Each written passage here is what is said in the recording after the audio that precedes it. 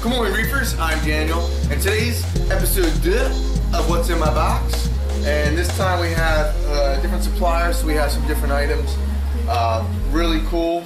I don't know if I showed you guys these before, but we have the magnetic viewers. Not only do they clean your glass, but they um, enhance whatever you're looking at.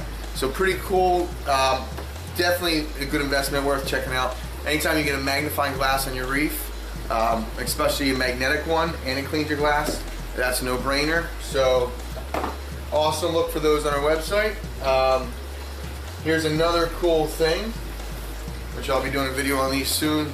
This is a new DCP, um, pretty cool sine wave technology, um, super silent, very efficient. So yeah, can't wait to test it out. It's got a new controller and everything. So very interesting, that pump will be. And also, check this bad boy out. This is a new aquarium surveillance system. It's an underwater camera and it's Wi-Fi. I was testing it out the other day. As you can see, I already have one open. It was in the tank. Uh, works really well. It's pretty interesting, honestly. I'll do a review on it. it doesn't have as strong a range of Wi-Fi, so you do need um, a receiver nearby, but it works off your cell phone, which is pretty cool. If you're sitting on the couch or something, you want to look something in your fish tank, that's definitely cool. So look for that review later.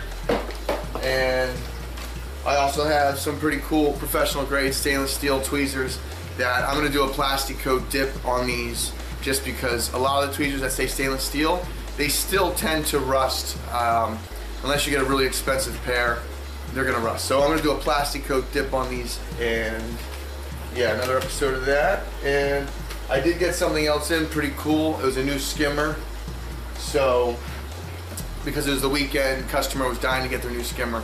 So I didn't get a chance to do the video on the skimmer yet but it was pretty badass. So look forward to that. I'll be doing a video on the skimmer coming soon. So thanks again for watching. What's in my box? Until next time happy reefing